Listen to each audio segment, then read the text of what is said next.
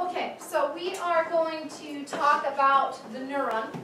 And as you see, I labeled this just in case for some reason you couldn't tell what my beautiful Picasso drawing of the neuron was. So these are going to represent the dendrite. This is the cell body, and our little circle here is just the nucleus. In the cell body, this is where all the organelles are located. So Golgi apparatus, endoplasmic reticulum, all of that. And then we have the axon hillock that sits next to the cell body, along with the axon. At the end here, this is all referred to as the telodendria, and part of the telodendria are the terminal boutons. And then we know that this is neuron number one, so this is our presynaptic neuron. And then this is neuron number two, so this is our postsynaptic neuron, okay? So we're going to start talking about how neurons communicate, okay? And we're going to start with what's referred to as resting membrane potential. So this is an essay on exam number two. This is definitely an essay, not a maybe. And there are five parts to this essay. Resting membrane potential, graded potential, action potential, propagation, and secretion. And this essay is worth 50 points on exam number two. All right? Close this door real quick.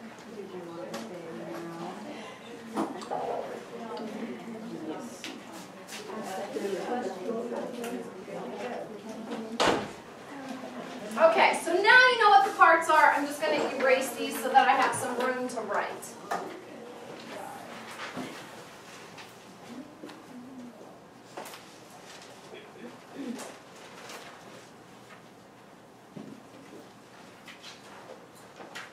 Okay, so let's pretend that I have a beaker. And I'm going to fill my beaker up with water. And then what I'm going to do is I'm going take this neuron and I'm just going to drop it in my beaker of water. Okay, so now my neuron is floating around in this beaker of water. And we're going to pretend that this beaker of water is the extracellular fluid. Okay?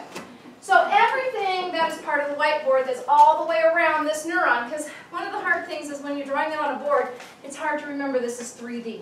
Okay, so all the way around this neuron on the outside is our extracellular fluid, like my beaker of water. And one of the things I'm going to add to this extracellular fluid is I'm going to add a whole bunch of sodium ions. So that we have in the extracellular fluid a very high concentration of sodium ions. Lots and lots of sodium ions floating around outside of my neuron.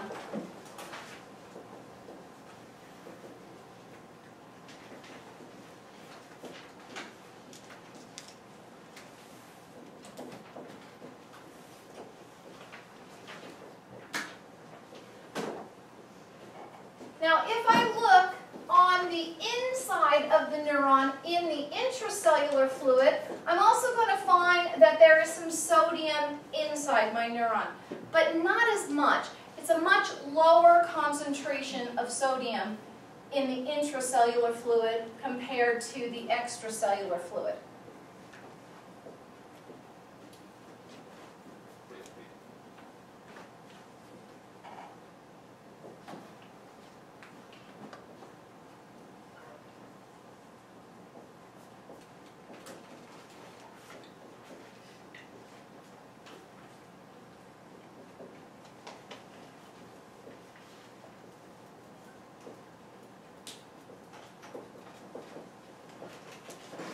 Okay, so it's a higher concentration of sodium ions in the extracellular fluid and a lower concentration, I got it wrong, didn't I?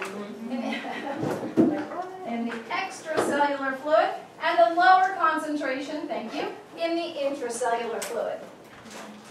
Glad somebody's paying attention. Now, the other thing I'm going to do to my beaker of water, besides pour some sodium ions in there, I'm going to pour some potassium ions in there as well, but just not very much. Very low concentration.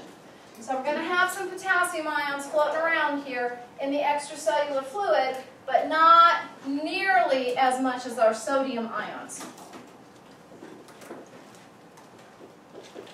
Okay? So we have a very low concentration of potassium in the extracellular fluid, but If we look in the intracellular fluid, lots of potassium. Very high concentration of potassium ions in the intracellular fluid.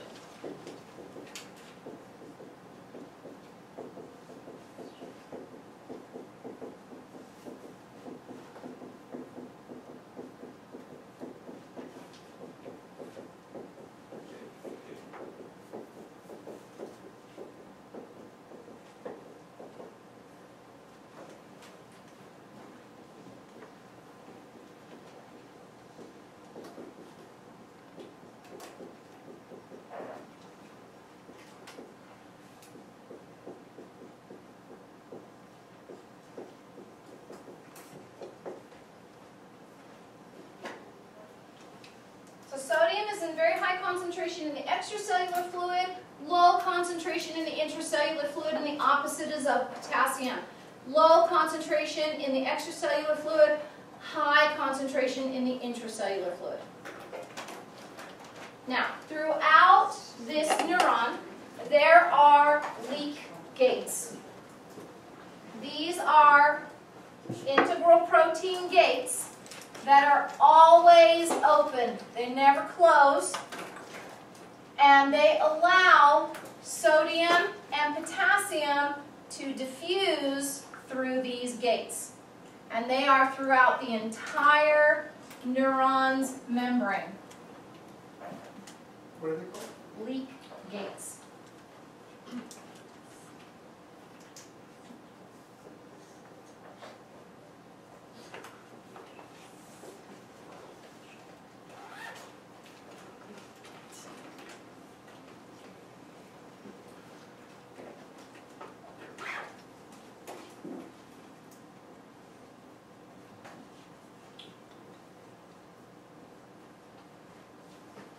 So these leak gates are throughout the entire cell membrane.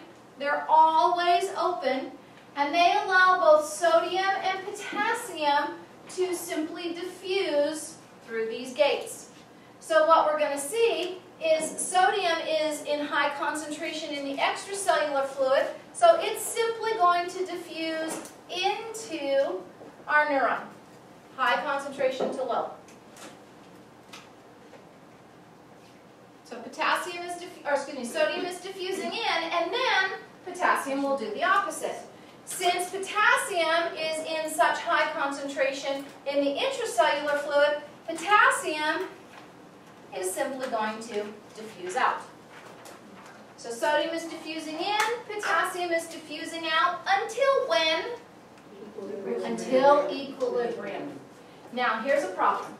We cannot have equilibrium occur in this neuron.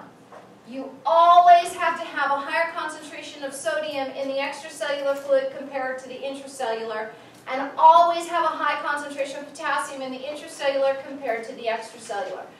If these two ions reach equilibrium, our neuron will not be able to fire, it won't be able to communicate with the next neuron, and you're going to die. And I'll show you why it can't communicate in a little bit. So we have to prevent equilibrium from occurring, and we've got all these open gates, so equilibrium should occur, except that we also have, throughout the entire cell membrane, a sodium-potassium ATPase pump. So throughout this cell membrane, we have that sodium-potassium pump. And this pump is constantly on, constantly operating so that equilibrium is not going to occur.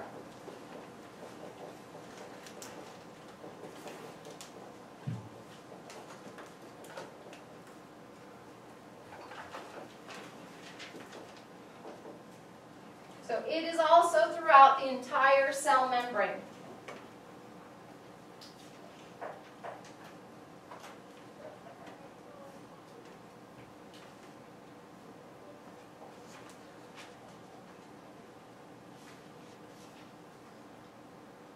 Okay, so let's revisit the sodium potassium pump just to get it right back in your head again. I know we talked about this before, but remember with this pump there are three binding sites for sodium, and there are two binding sites for potassium. And then also located on this pump is the ATPase enzyme. Okay, now watch. Sodium is diffusing in. Simple diffusion in. But we want to have a high concentration always on the outside. So when that sodium diffuses in, we're going to actively transport through our pump three sodium ions out. Okay? So we're going to have three sodium ions bind in this pump, and they're coming from inside the cell to the pump. And then you remember, we're going to take ATP and break it down into ADP plus a phosphate, and we're going to use this phosphate to cause the pump to actively transport these three sodium ions out of our cell into the extracellular fluid so we maintain that high sodium concentration in the extracellular fluid.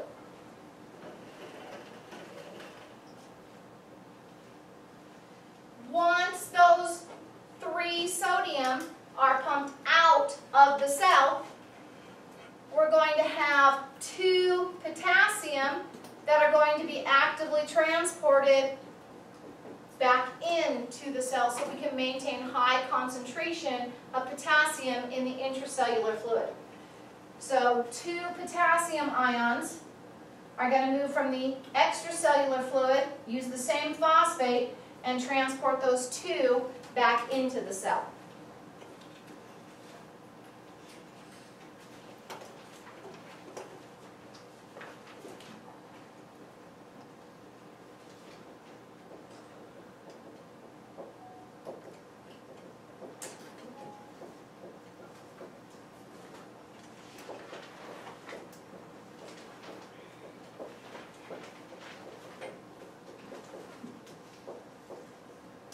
Other concepts are opposite.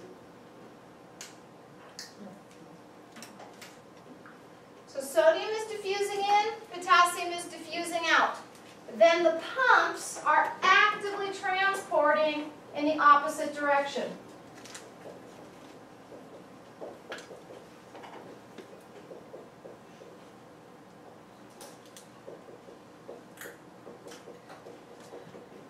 It's always at the same rate, right, with uh, two potassium in and uh, Yes. sodium out. Always three to two.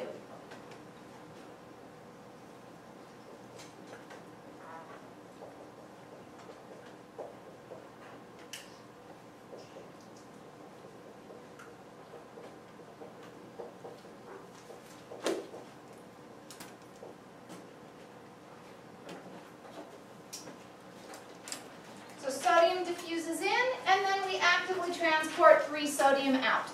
Potassium diffuses out, and then we actively transport two potassium back into the neuron. This way we keep a high concentration of sodium in the extracellular fluid, a high concentration of potassium in the intracellular fluid.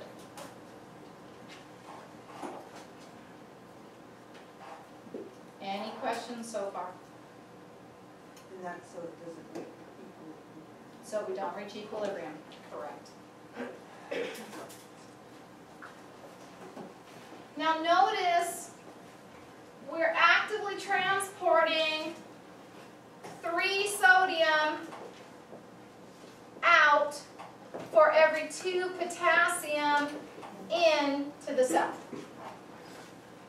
Which means that we're actively transporting more positive charges outside in comparison to the positive charges inside. We don't have as many. Can you say that again? Which part? The, The three sodium are actively transported out, two potassium actively transported in. So we now are going to have more positive charges on the outside of our cell compared to the inside. And so we could write it like this. We could say in the extracellular fluid, we have more positive charges compared to the intracellular fluid, not as many positive charges. Now, I'm just writing it in that one little place, but we could do that across the entire neuron's membrane.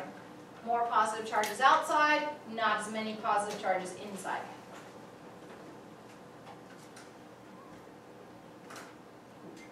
Any questions about that? Wait, why was it um, negative in the inside? Because you don't have as many positive charges in there, so the negative ions take over. So even though there's more potassium inside, that's still not as much. Three to two. I'm pumping out more positive charges than I'm pumping in. Three Okay. out, two. Mhm. Now, anytime there's a difference in the amount of charges inside versus outside the membrane, we say there is a polarity to the membrane. So polarity means there's a difference in charges across the membrane. Difference in charges inside versus outside of our membrane. Would neurons be the only No, cells that have that? no. As a matter of fact, everything I'm telling you right now in resting membrane potential pertains to every single cell in the body. Every cell in the body has a difference in polarity, and usually because of sodium and potassium. Okay, so polarity again means we have a difference in the amount of charges across our membrane, inside versus outside. More positive charges outside, less positive charges inside. Now, we have a lot of ions moving across the membrane. Sodium and potassium are diffusing in and out, and then sodium and potassium are being actively transported in and out. And any time ions move, they create energy. They actually create an energy that's usable, a kinetic energy. So anytime these ions are flowing across our membrane, in and out of the membrane, like we've been seeing, they can create a kinetic energy. It's how your battery works in your vehicle. It creates a kinetic energy because of ions. So if you look at your car battery, okay, and most people don't know much about their car battery, but it's the same thing as a neuron. So let's say this is your car battery, and you know you have those little post things sticking out of your battery, you might have seen those, right? And one of them's red and one of them's black. One's positive, one's negative. Yeah, they call them terminals, exactly. If you look inside your battery though, these posts lead into a region that's hollow. So there's a really large compartment in your battery that is hollow. And what they do is they pour into this a mixture of H2SO4 plus water. This is sulfuric acid and water. And when you do that, you find that the hydrogen ions and the sulfate ions will separate in the water. Now those ions are positively and negatively charged, so they are going to be attracted to the opposite post. And those ions will begin to flow. The hydrogen ions towards the negative, the sulfate ions towards the positive. And usually when you turn your key, push your button, whatever it is, it zaps a little electricity in there that helps those ions to float faster. And they start moving very quickly towards those posts, and that creates a kinetic energy that eventually, as it moves, actually causes your spark plug to spark. And the reason your spark plug sparks is so that it can create a little explosion because something called your carburetor releases a little bit of gas and when the spark plug sparks and the gas is released you get a tiny explosion that moves your pistons up and down and then your tire, uh, anyway, my father was a mechanic, can you tell? Uh, I learned how to strip down a 1967 Mustang when I was 12 years old and rebuilt the engine. Okay, so uh, this is the same way your neurons work. Your neurons are causing a flow of ions. Now when these ions flow, we can measure the amount of energy that they produce. And that amount of energy uh, for your battery is what we would call 12 volts. You have a 12 volt battery in your car. Now, when scientists were first starting to learn about neurons, it was very interesting. Uh, they began to study neurons by studying squid. Now, squid are without a doubt the dumbest animal on the face of the planet. Because squid, for their entire central and peripheral nervous system, have exactly one neuron. That's all they have. And so depending on the size of the squid, their neuron is usually just about as big as a squid. So you can take a squid about this big and strip their neuron out and you're going to have one big honking neuron, which makes it really nice to work with and do experiments on. And so one of the things that the scientists, as they're experimenting on these squid neurons did, is they took something called a voltmeter. And it's the same thing they use on your battery. If you think your battery's going bad, they take a voltmeter and they test whether your battery has 12 volts in it or not. Now, coming off of this voltmeter, there's two wires. And in this case, coming off of the wires are these little glass things, kind of sort of look like little pipettes. And you can take these and push them through the cell membrane to the inside of the cell. And then the second one you put on the outside of the cell membrane and let them sit. And the ions will start flowing through this and they will allow the voltmeter to pick up the charge. And when somebody measured the energy or the charge of the flowing ions coming in and out, not, not flowing down, all our ions are moving in and out of the cell membrane. They were able to read this charge, not very much. It was 70 millivolts. Now I put a little negative there. That negative represents the fact that it's negative inside. It's not really the voltage. So at rest, the voltage that's produced, the kinetic energy that's produced by our neuron is 70 millivolts. Or because it's negative inside, they call it minus 70 millivolts, which is also our resting membrane potential.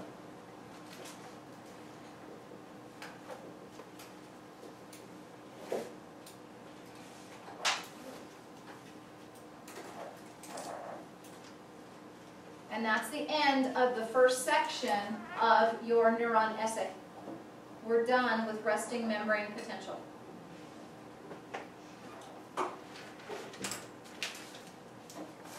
Any questions so far?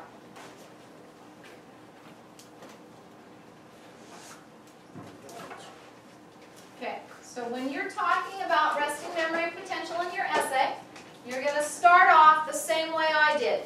You're not going to give me the anatomy of a neuron. Don't tell me the different parts about it. I don't want a drawing. Don't worry about it. Just start off telling me that sodium is in the highest concentration in the extracellular fluid and in a lower concentration in the intracellular fluid. And then talk about potassium being in a higher concentration in the intracellular fluid, lower concentration in the extracellular fluid. Then move on to the leak gates, which are found throughout the entire cell membrane. They're always open and they let sodium diffuse into the neuron while potassium diffuses out of the neuron. And this could lead to equilibrium, but we don't want that to happen. And I can tell you why now.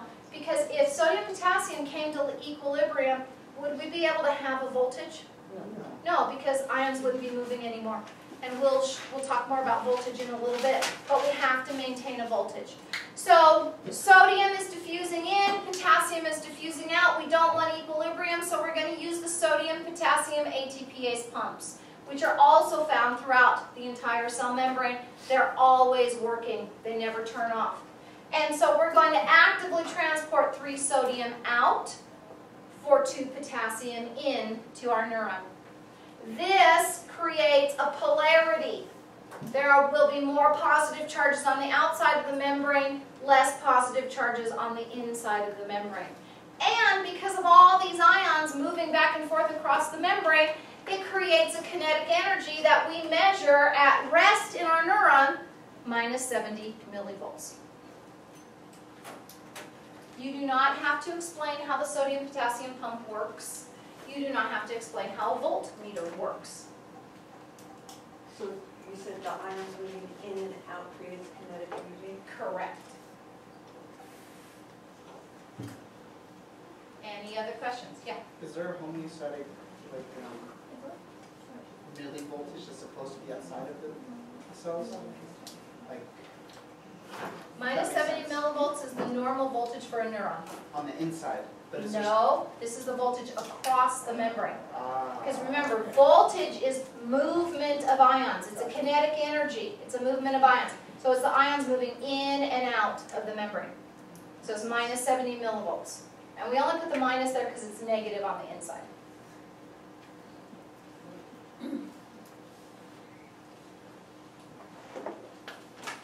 Any other questions? You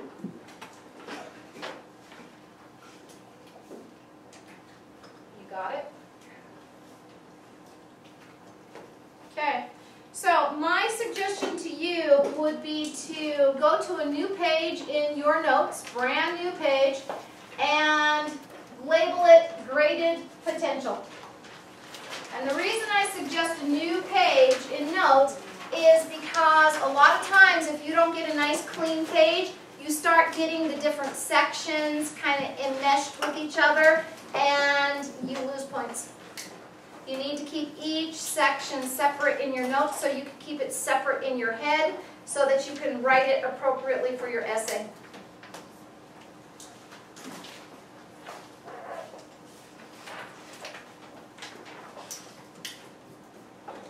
Okay, so we're going to talk about the graded potential, which could also be referred to as the graded response, just be, depends on who you're talking to.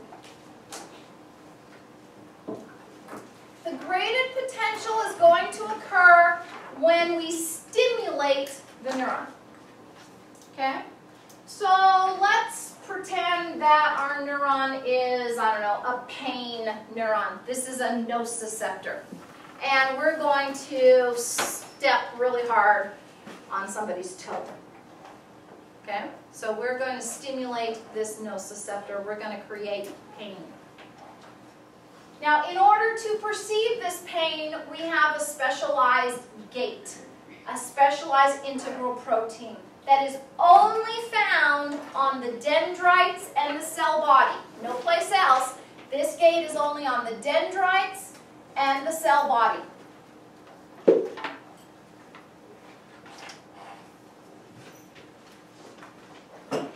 This type of gate is referred to as a ligand regulated gate.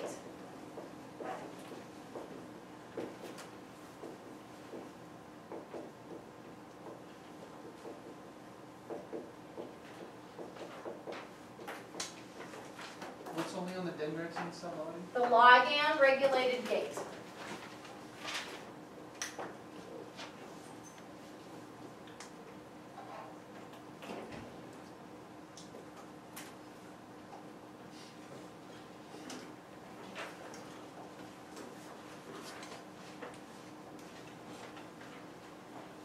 So we have a ligand regulated gate that is located on our dendrites and our cell body. And something has to bind that gate in order to make the gate open. Now, anytime we feel pain, it's because our cells are releasing a very particular chemical, which is called enkephalin.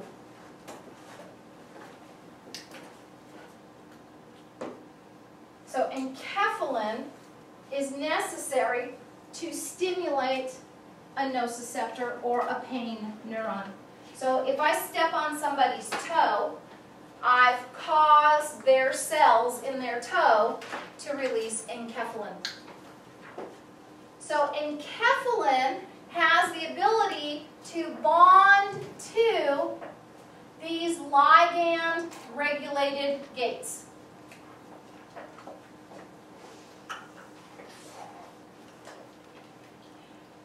Enkephalin causes the gates open.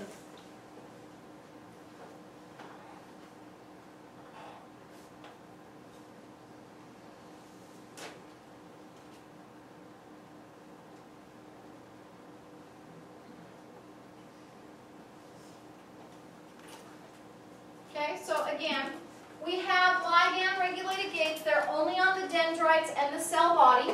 And our cells that are feeling pain are going to release enkephalin. And enkephalin will bind to these ligand-regulated gates to cause them to open. When they open, the only thing that is able to move through the gate is sodium. Sodium can then diffuse through this ligand-regulated gate into our neuron.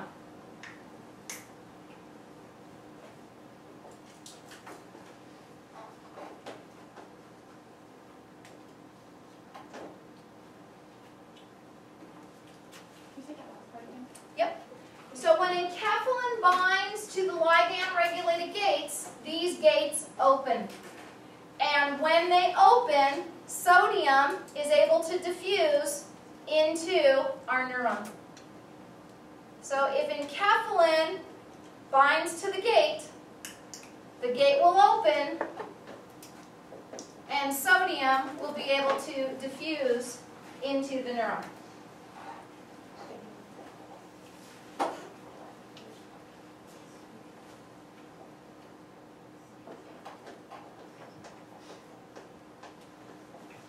Okay, so one more time. We have these ligand-regulated gates on the cell body and the dendrite, and we have enkephalin binding to these gates, causing the gates to open, and sodium is diffusing in. Any cell that's injured. Any cell that wants you to know you should be in pain and protect yourself. So those are normally be just pain receptors? I'm sorry? Those are just be receptors? They're cells that release the enkephalin? The cells that release enkephalin can be any cell in your body. They bind to the pain neurons, the nociceptors, to tell you you're feeling pain. So would there be more, I guess, concentration of enkephalin where you have more senses, sensory, like, feeling, I guess? No, because every cell has enkephalin. Every single cell in your body. Okay, so we have sodium diffusing in, but now before we go on with that, I want to just point out, we have some of these ligand-regulated gates that no is bonded to. So if I'm feeling pain, I'm going to feel different thresholds of pain or different intensities of pain. You know, if somebody just like barely steps on my toe, I might feel a little bit of pain. But if somebody like drops a bowling ball on my toe, I'm going to feel a lot more pain. I have to be able to tell my brain how much pain am I feeling. And the word graded in our graded potential that we're talking about is an old-fashioned term that we used to use for intensity. So this is all about the intensity of the response. And it has to do with how many of the ligand-regulated gates open. The more ligand-regulated gates that open, the more pain or the more sensation, whatever it may be, I'm going to perceive. So the more ligand-regulated gates open, the brighter the light would be. The more ligand-regulated gates open, the hotter the water would be. The more ligand-regulated gates open, the more pain I would feel. It helps to tell me the intensity of response. Now watch this. Let's say, just for instance, the numbers really don't mean anything, I'm just giving it as an example. Let's say that I have a little tiny, tiny bit of pain. So I'm only going to have maybe 50 ligand-regulated gates open. But I have to convey this information to my postsynaptic neuron, to the next neuron, to however many until it gets to my brain. So that if I have 50 ligand-regulated gates opening on my presynaptic neuron, how many would you suggest I open on my postsynaptic neuron? 50, exactly. Because imagine if it should only be a little tiny pain and I open 50 ligand-regulated gates here, but I open 50,000 here, what kind of intensity is my brain going to perceive? Uh, yeah, instead of my brain perceiving somebody barely stepped on my toe, my brain is gonna perceive I had a bowling ball on my toe. Okay? That is not a good thing. You want your brain to perceive exactly how much pain you're really feeling and not more or even less than what you're perceiving. So we're going to talk about the fact and how it happens, but however many gates open on the first neuron has to be the same number of gates in every single neuron in this pathway to the brain, so that the brain perceives the right intensity of response. Uh, some people have problems with pain receptors. And a lot of times they will feel excessive amounts of pain because of the fact that there's some miscommunication between the pre and postsynaptic neuron. And no one exactly understands how that happens, but it's just like we're saying, they might have zero receptors that should be open, but in the next neuron, they're saying there's 50,000. And the next neuron is stimulating itself without even the first one telling it to be stimulated. So they feel much more pain uh, than they should, than they need to. Uh, it- When they open, they sense the pain, right, but uh, what's the purpose of all the sodium coming in? It would, uh, into the. I'll tell you in just a sec. We haven't gotten there yet. Huh? Trace it right there. Basically, yes. Any other questions before we move on? Okay, so we have these ligand-regulated gates that have opened because of enkephalin, and our sodium is diffusing in.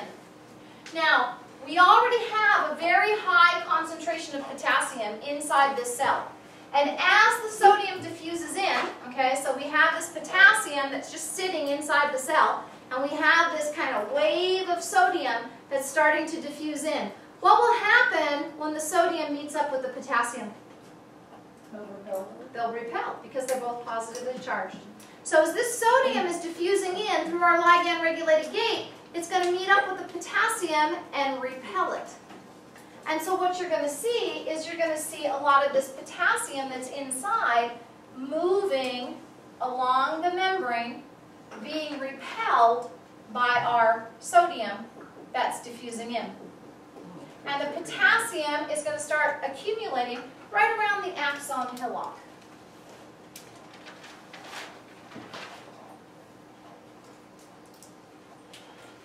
Now, some of the potassium may go a little bit further, but most of it is going to stay right here, just because when the sodium comes in and repels that potassium, it doesn't do it with very much force. It only goes a short distance down the membrane. It can't go very far.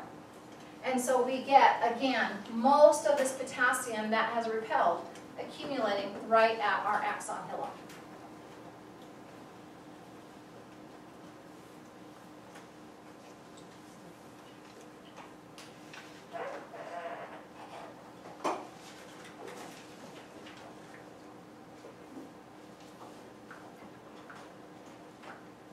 Okay, so one more time with the rate of response. We have some cell that's been injured, so it's releasing enkephalin. Enkephalin is going to bind to our ligand-regulated gates and cause these gates to open. And when it does, sodium will start to diffuse in, and that sodium will repel potassium. And that potassium will begin to accumulate right around the axon hillock.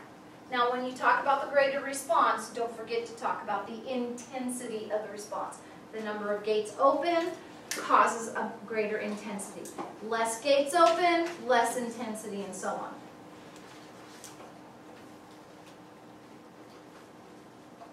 Once the potassium accumulates at the axon hillock, you're done with the graded potential or the graded response. That's it. Okay, so now we're going to talk about action potentials, okay? So what action potentials are all about is the information that we started at the dendrites and the cell body have to be carried down the axon and then transmitted to our next neuron. So the action potentials have the ability to carry this information down the axon. So we have another set of specialized gates that are only found on the axon hillock and the axon. So these specialized gates are what are referred to as voltage regulated gates. These gates are able to open and close when there are changes in voltage. And I said only down the axon, and I should have said all the way to the terminal button. Sorry about that. So these voltage regulated gates are found down the axon to the terminal boutons.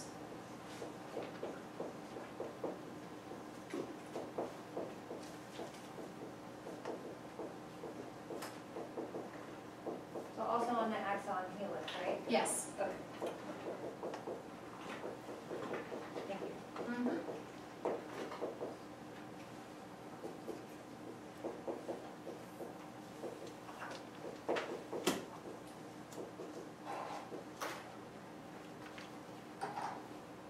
So our voltage regulated gates are found from the axon to our terminal boutons. And again, they're going to open and close due to changes in voltage. So if I could take my voltmeter and I could measure the changes that are occurring as our potassium starts to build up here. So with our graded response, sodium is repelling potassium to this axon hillock. And if I could measure the changes in voltage as the potassium begins to accumulate, what I would see is that the voltage would go from minus 70 millivolts, our resting membrane potential, and begin to climb to around minus 50 millivolts. And this is simply because of our potassium accumulation.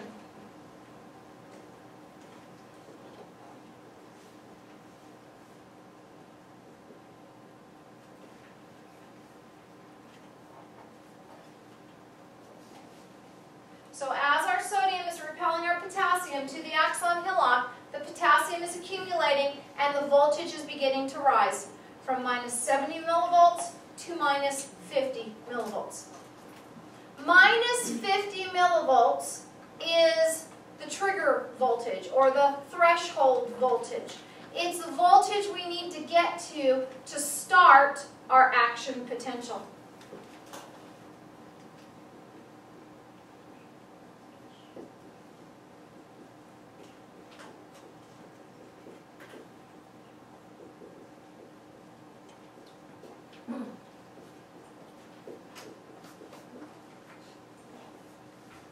And by the way, I'm sorry, I forgot to remind you, this is probably a good place to be on a fresh, clean piece of paper with action potential written at the top of it. If you're gonna be taking your notes, make it separate from graded potential. At least draw lines across so that in your mind, when you're studying it, you can study it separately. Because I get a lot of students, when they write their essays, they put together information from graded potential and action potential. They get them mixed up. They kind of weave them together. You don't want to do that. That's a good way to miss points.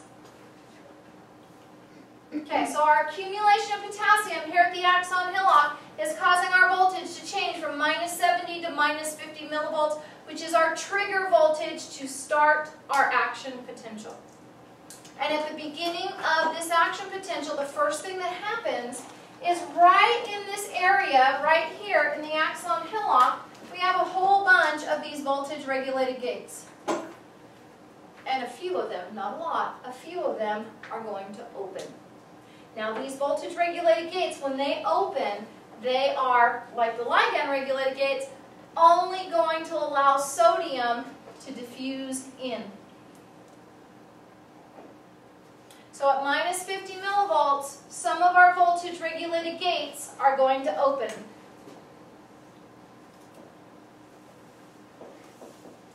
You said the accumulation, there was a large number of them at the Axon Hillock. Yes? Thank you. Negative, negative fifty is like higher, higher voltage or less?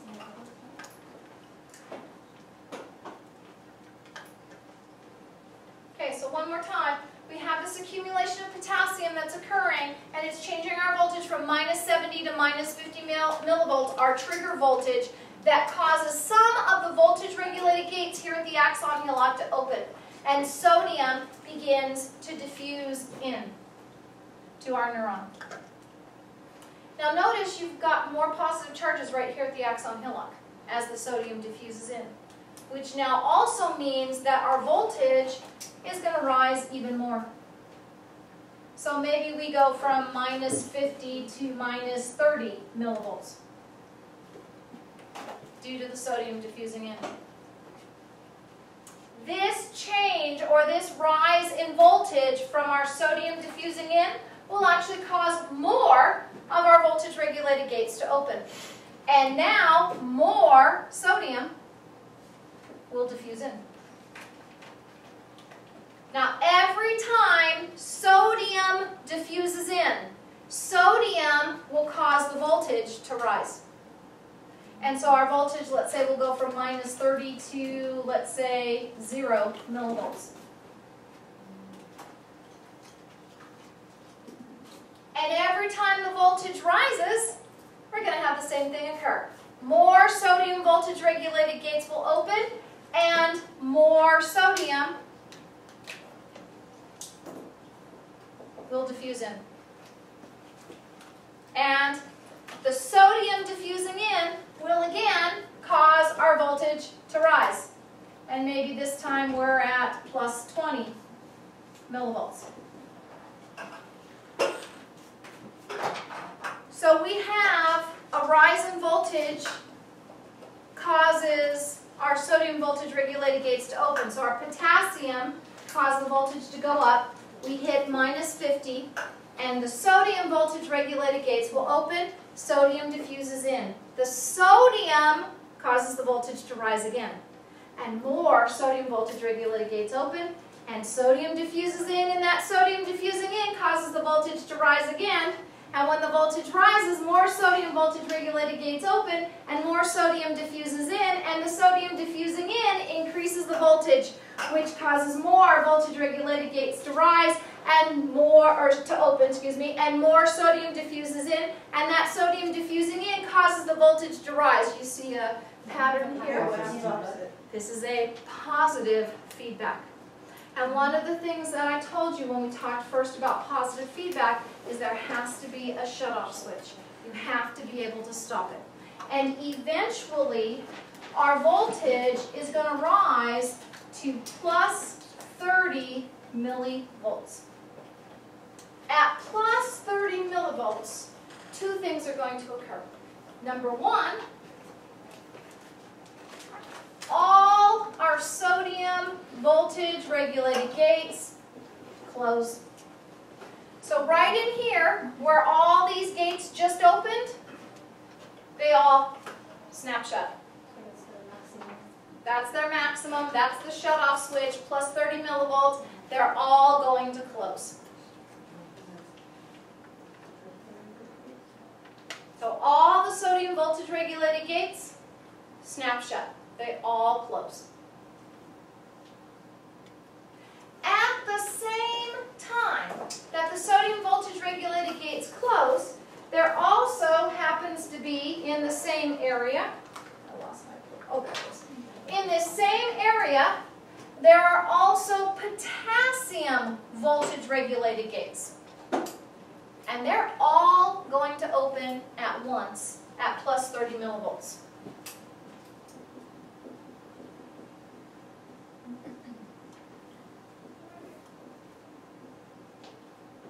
Which means that all this potassium that we accumulated here during the graded potential is going to diffuse out. Because all these voltage regulated gates just opened. And we're going to have all this potassium diffusing out of our neuron. Which also means that our voltage is going to drop.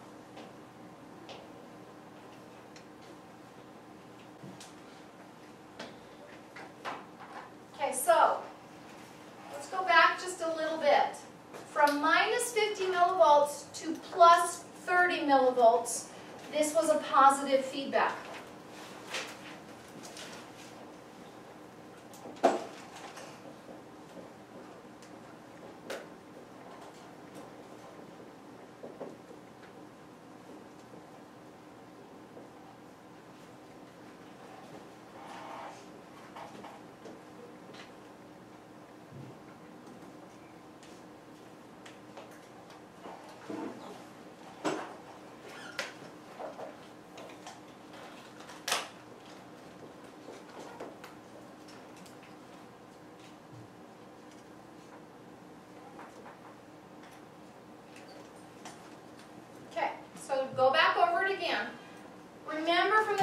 potential sodium is diffusing in, and we're having an accumulation of potassium occurring right around the axon hillock.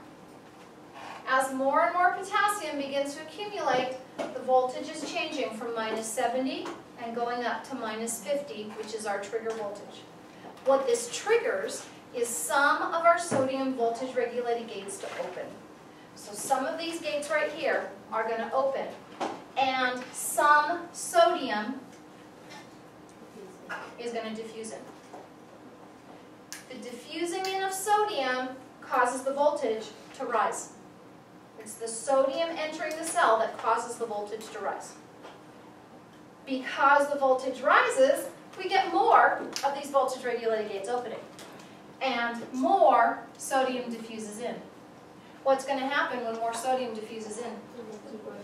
Voltage is going to rise again. And so we get an increase in voltage again. And anytime the voltage goes up, it causes more voltage regulated gates to open and more sodium diffuses in. So sodium diffuses in, voltage goes up, that causes gates to open, more sodium diffuses in, voltage goes up, that causes more gates to open, more sodium diffuses in. And it keeps going until we hit plus 30 millivolts. So from minus 50 to plus 30 millivolts, this is all about sodium diffusing in, and this is a positive feedback. Now notice one other thing. In this area, we have lots of positive charges inside. What we used to have was more positive charges outside. But now we have so many positive charges inside here that there's actually a reverse in our polarity. In this region only, we actually get a reverse to the polarity. When all that sodium diffuses in, we have all this potassium accumulating just in this one small area. Now we're actually more positive inside in comparison to outside. The polarity has reversed. Anytime the polarity reverses this one time, we call this depolarization. So also from minus 50 to plus 30, this is depolarization. This is a reverse or a flipping of our polarity.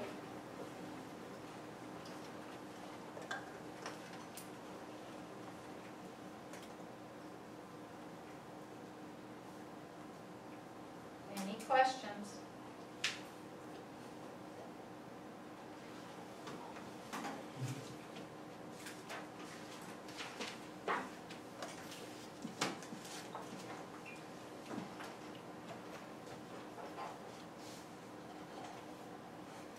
Okay, so again, at plus 30 millivolts, all our potassium voltage regulated gates, excuse me, all our sodium voltage regulated gates will close, and our potassium voltage regulated gates will all open. And so now our potassium will start to diffuse out. And our voltage will drop. Now, eventually, this voltage is going to drop all the way back to minus 70 millivolts because our potassium keeps diffusing out of our cell. So it diffuses out until it's back to, minus 70 millivolts. So now watch, all this potassium that was here, it's gone, it's diffused out. And so we start dropping in voltage. At minus 70 millivolts, in this little area here, are we at resting membrane potential? We are? No?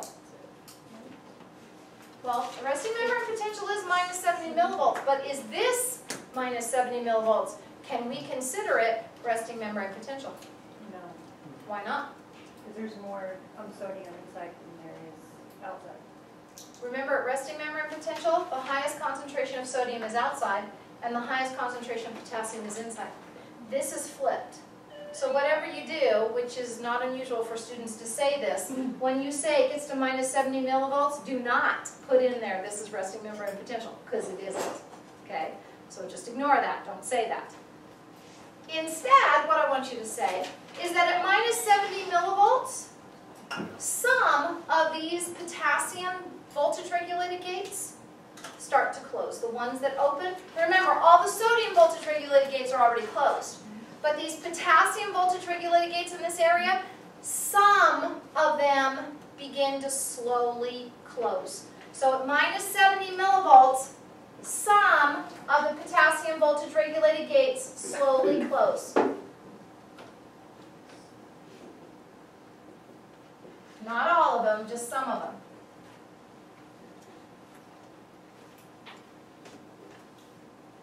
Which also means that some of them are still open. And more potassium can continue to diffuse out. So that we actually see the voltage drop all the way to minus 90 millivolts before all of the potassium voltage regulated gates are closed. At minus 90 mil, mil, eh, can't talk, minus 90 millivolts, all potassium voltage regulated gates are closed.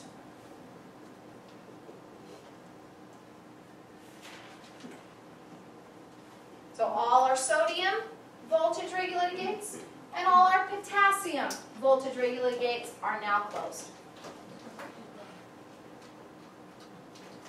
So that the only thing that's actually working in this area is the sodium potassium ATPase pump. Remember I told you, it's always on, it's always working. When sodium and potassium were diffusing in here, it was totally overwhelmed, couldn't keep up. But now that all the gates are closed, what it's gonna do is actively transport free sodium out two potassium back in.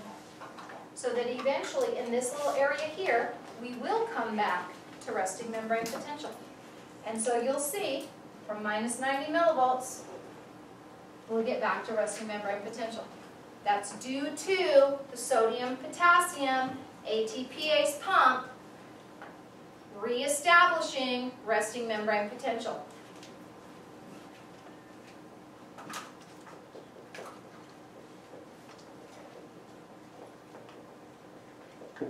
So the sodium potassium pump doesn't kick in until all the gates are closed? Yep. Exactly.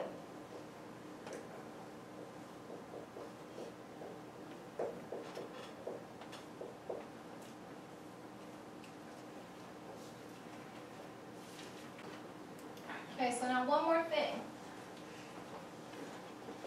From plus 30 millivolts to minus 70 millivolts, we actually see we're not going to have the same polarity.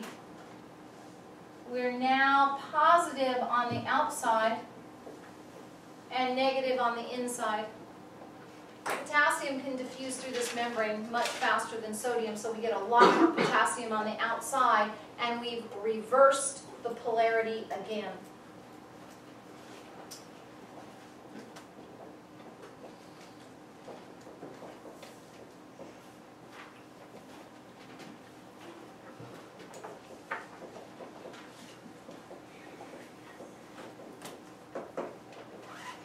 Don't forget, if you're saying the words repolarization and depolarization in your essay, you have to tell me what they mean.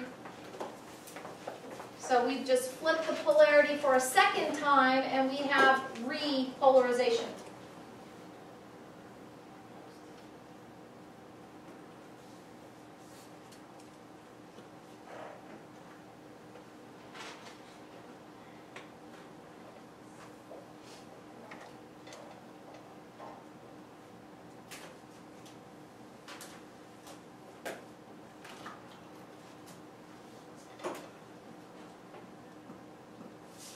Any questions? Yes? Um, so since the potassium originally accumulates in the hillock, why are there still a voltage gates throughout the rest of the neuron? Because, excellent question. We just had one single action potential right there. But we need to propagate, have more action potentials all the way down. So we need these voltage regulated gates so that we can do this over and over and over again. So we just went through our first of potentially hundreds of action potentials that need to go down this axon. Now it took us a lot longer, but in the neuron, from the beginning to the end of an action potential, it takes exactly one millisecond. Pretty fast. Now, action potentials can also be referred to as all or none. And that's because once you hit minus 50 millivolts, it's like a domino effect. You start the first action potential, and you're going to have boom, a whole bunch of action potentials all the way down that neuron.